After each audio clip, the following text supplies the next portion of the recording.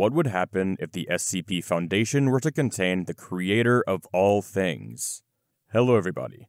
I am Lavis, and the SCP I'm going to tell you about today is SCP 343 God. Let's begin.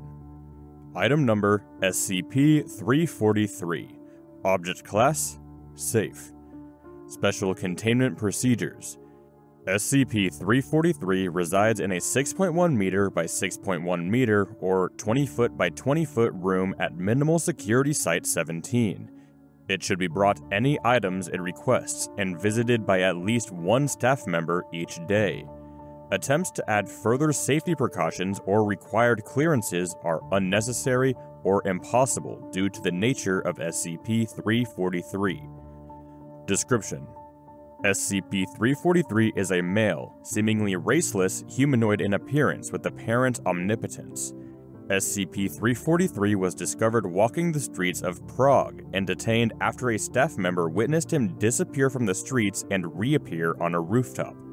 SCP 343 is detained willingly in his chamber as containment has proved impossible. See notes.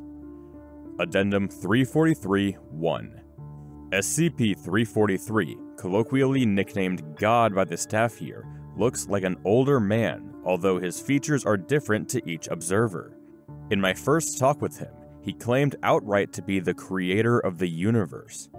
When I asked him to prove this, he laughed, walked through the wall of the chamber, and returned seconds later with a hamburger in his hand.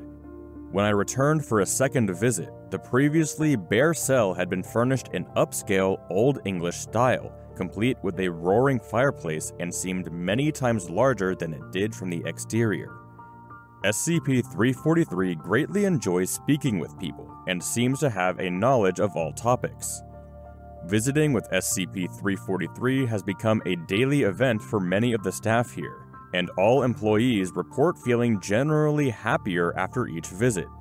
Attempts to bar staff below level 3 clearance have proven unsuccessful, as guards assigned to watch the room quit their posts, saying, You know he likes company, or shrugging when questioned. Since SCP 343 has thus far been harmless, all staff have been allowed access, and somehow they all have time to meet with him for as long as they need. For now, I leave this report open as further questioning of SCP-343 is ongoing. From Dr. Beck. Warning. Security level 4 or higher needed for further access. Addendum 343-2 in regards to document 343-1A, there are no relevant records available or seemingly in existence, and similarly, all records of Dr. ever working with SCP-343 or Dr. Beck are missing and presumed non-existent. All staff questioned about the document convey ignorance of document 343-1A and claim not to have met Dr. In a related matter, Senior Officer Dr. Beck has requested a higher staff rotation to increase morale in worse off sections. This is a very odd request and was the subject of further investigation. Other localized anomalies such as better health, greater job satisfaction, and lower fatalities in this section have led to the request being granted. This subject is now closed on orders of 05 Addendum 343-3. Data recovered on from routine check of Dr. network drive. Document 343-1A.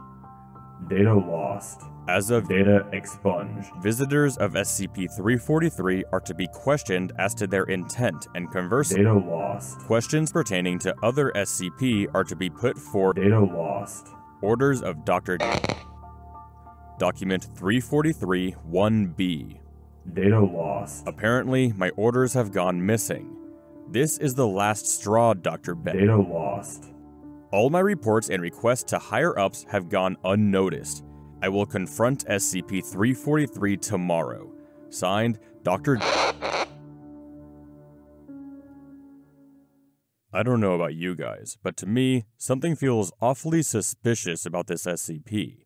But, anyways, that's just an assumption. Thank you very much for listening.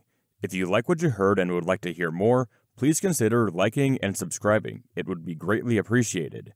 Also, if there are any SCPs that you would like to hear me read, please leave them in the comments below. Have a nice day.